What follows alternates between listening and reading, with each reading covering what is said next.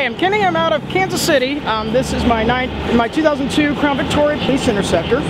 Um, it's got factory 4.6, everything stock, um, other than K&N filter. Um, otherwise, it's got um, Marauder corners, LED, all LED lights, HID headlights, and um, pretty much a good and decent tunes for road tripping too. So. What's uh what's your favorite thing about owning this car? It's a lot of fun. I'm not going to complain. It's a lot of fun. You can still it, you can do a lot of things to it. I mean, one of my one plan that I have, not sure if I'm going to go through with it, manual gear um, switch over to a manual gearbox inverted. Um, otherwise, it's got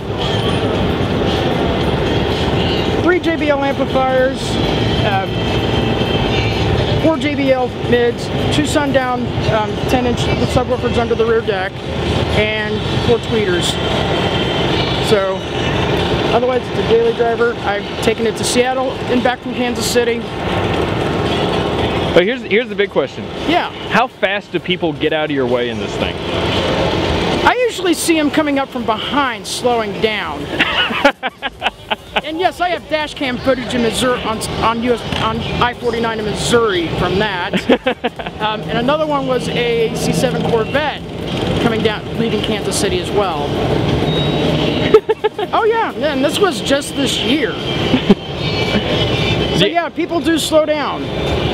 Do, do the antennas still work? The antennas are functional. I am a ham radio operator, so I've got a 2 meter on the antenna and a tri-band on the other. Why an old police interceptor? Why not anything else? Low mileage for the price. that's the that's the main reason I, I decided to buy this one. Low mileage for the price I paid for it. All right, and what, what would you um, tell anybody else who wants to buy one of these? Um, that's a good question. why why should somebody go buy one of these? Because besides the low mileage.